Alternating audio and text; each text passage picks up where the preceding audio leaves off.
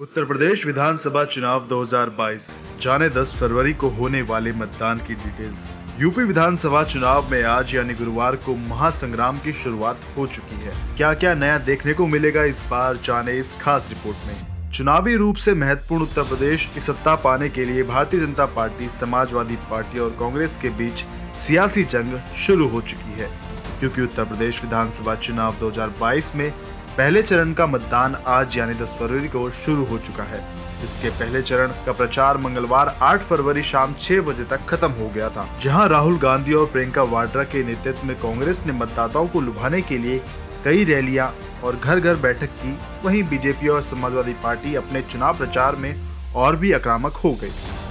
भारत निर्वाचन आयोग के अनुसार कोरोना वायरस महामारी के मद्देनजर रोड शो और शारीरिक रैलियों पर प्रतिबंध के कारण विधानसभा क्षेत्रों में केवल डोर टू डोर प्रचार की ही अनुमति होगी। चुनाव आयोग के दिशा निर्देश के तहत प्रत्येक चरण के मतदान से 40 घंटे पहले प्रचार समाप्त करना होगा। मालूम हो कि यूपी में सात चरणों में 10 फरवरी से 7 मार्च तक मतदान होंगे। इसमें पहले चरण में 11 जिलों की अट्ठावन विधानसभा सीटों पर आज मतदान हो रहा है। वहीं उत्तर प्रदेश की 403 सीटों वाली विधानसभा के लिए 10 फरवरी से 7 मार्च तक वोटिंग होगी, जिनके परिणाम 10 मार्च को घोषित किए जाएँगे।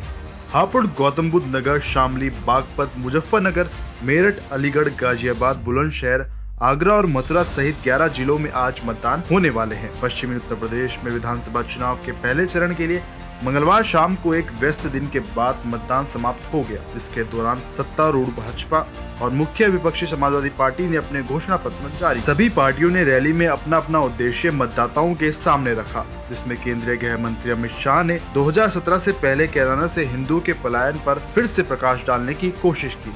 वहीं समाजवादी पार्टी के अध्यक्ष अखिलेश यादव का दावा था कि लोगों ने भाजपा को सत्ता से बाहर करने का मन बना लिया है। जहाँ एक तरफ़ सपा रलोद गठबंधन ने अपने चुनावी प्रचार को किसानों के मुद्दे पर केंद्रित करते हुए चुनावी वादों को लेकर यूपी के मुख्यमंत्री योगी आदित्यनाथ पर हमला किया तो वहीं दूसरी ओर देर से चुनाव प्रचार शुरू करने वाली बसपा प्रमुख मायावती ने लोगों को अपनी सरकार के कानून व्यवस्था के पिछले रिकॉर्ड की याद दिलाई। बात करें कांग्रेस की तो महासचिव प्रियंका गांधी वाड्रा रोड शो करती नज़र आई, साथ ही घर घर जाकर प्रचार भी किया।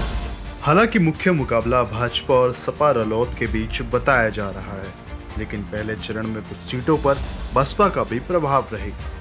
अब देखना हो दिलचस्प होगा आखिर सरकार किसकी बनती है। तब तक के लिए देखते रहिए देशित न्यूज़। धन्यवाद।